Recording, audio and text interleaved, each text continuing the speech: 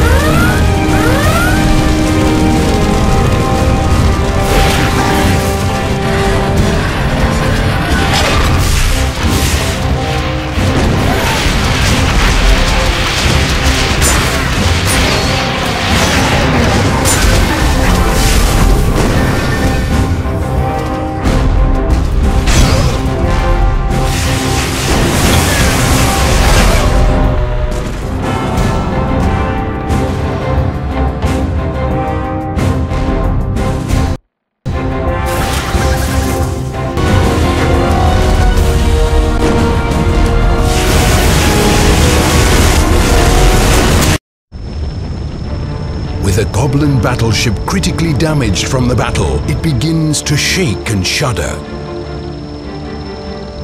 The red Eternia shard is within our team's grasp, but the unstable ship causes the final shard to roll off the side of the deck. As the shard tumbles off the deck, the squire rushes to the edge and heroically leaps off after it. Flying at high speed, he catches the crystal and plunges his sword deep into the hull to stop his free fall. Meanwhile, the battleship begins to fall further and begins accelerating into a nosedive, plummeting through the clouds as the team clings for dear life. Just when all seems lost for the squire, the Tavern Keep's plane sweeps in from behind. Swinging in quickly, he picks up the squire before he loses his grip and navigates to the deck of the plummeting ship. As the battleship spirals out of control, the Tavern Keep edges closer to the team. The squire quickly grabs his friends and pulls them safely onto the plane. With a final Eternia shard in hand, the young heroes have earned themselves a much needed vacation as they fly back to the tavern they call home.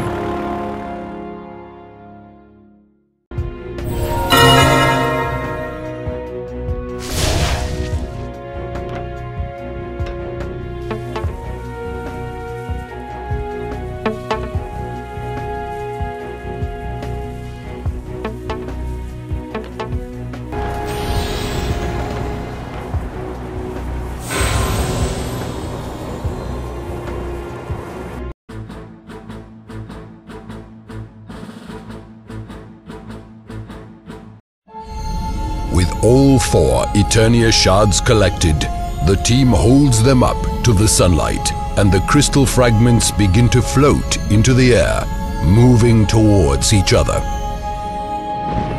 In a flash of light, they merge to reveal a large, twisted purple Eternia crystal with a swirling portal of energy around it. A voice emanates from the black abyss. Have come far in seeking your parents, little children. It is time now that you entered the portal as they did and face your destiny. Shocked at this turn of events, the group consults with each other. What must this mean? What is inside this Eternia crystal? Could their legendary predecessors really be inside? Putting aside any fear and doubt, the heroes agree they must investigate. The champions take a moment to prepare themselves for what may lie ahead.